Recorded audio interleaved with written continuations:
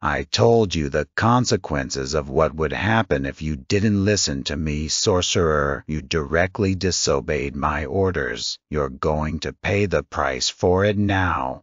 No, IW won't pay for anything. I've been subjugated to too much torture for Wairi will not put my efforts in vain. This was my last universe I needed to destroy. You ruined my plans, Emperor Silver. Emperor Grey, get the poisonous gas, the multidimensional killing type. I think it's time we teach the sorcerer a little lesson.